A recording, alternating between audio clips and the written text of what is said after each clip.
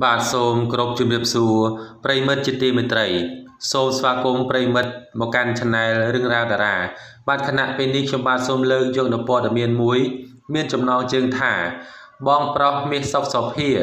ឆ្លើយតបផាំងទៅនារីបង្ហោះ TikTok ថា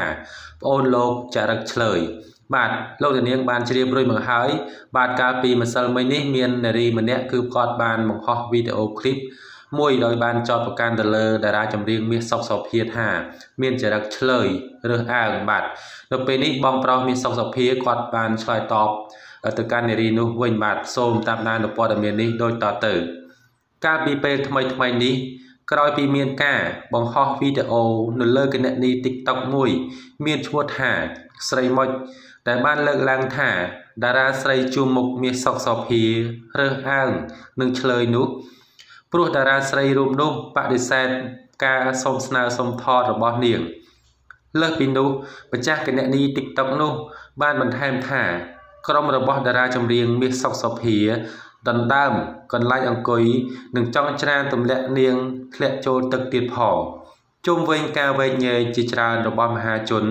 និងសិល្បករសិល្បការិនីដែលបានចែករំលែកវីដេអូនោះបានបញ្ចេញមតិថា ម្ចាស់វីដេអូ TikTok រូបនោះហាក់លើកឡើងមិនសមហេតុផលក៏ព្រោះតែនាង បានសុំមាសសុកសុភាថត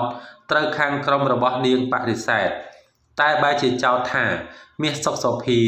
រើសអើងឆ្លើយតែជាក់ស្ដែងមហាជនអ្នកលេងបណ្ដាញសង្គមនិងសិល្បករសិល្បករនីបានលើកឡើងថា